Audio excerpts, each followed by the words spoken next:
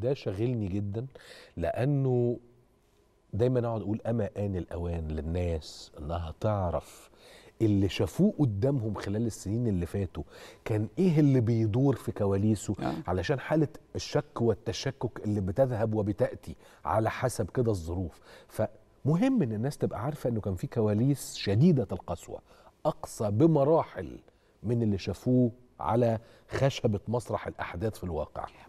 يعني هقول لك تعبير كده بيقولوه الجماعة السياسيين والأمنيين هو يقول لك في حاجة اسمها main show و side show صح. إحنا طول الوقت عينا مع ال side show مم. للأسف. لأنه هو ال side show ده بيبقى شغلته كده حاجة مبهرجة وبتاع لكن هو ده شغلانة جانبية خالص. ده هو معمول عشان يخطف عينك. في حين إن الموضوع الأصلي الهدف الرئيسي للحكاية أنت مش شايفه خالص وهو بيحصل. في عز الحدث مهما حلفت لك على ده مش هتصدقني.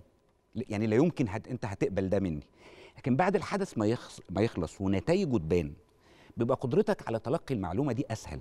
لأن أنا بكلمك عن شيء أنت شايف شايفه بقى على الأرض خلاص. آه. أنا مش ب... مش بحكي لك وجهة نظري. أنا بقول لك أهو حصل.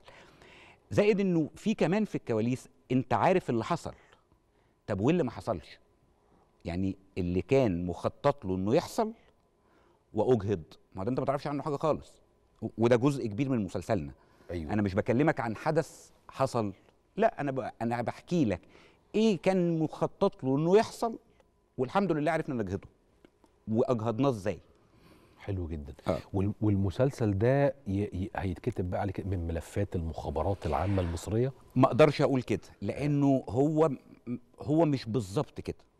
لكن هو مستوحى من من من قضية حقيقية. قصة حقيقية حصلت بالفعل آه. حدث بالفعل. آه وأبطالها عايشين على على قيد الحياة يعني. من الناس اللي تحب جدا تشوف كده من أيام ما كنا بنتفرج على جمعة الشوان وح... من ملفات المخابرات العامة المصرية. فبشعر اولا بشيء كده إيه من الفخر والنشوة وفي نفس الوقت ابقى عارف إن أنا هشوف كم تفاصيل عمرها ما كانت تيجي على بال مواطن عادي إنه يشوف كل ده بيحصل.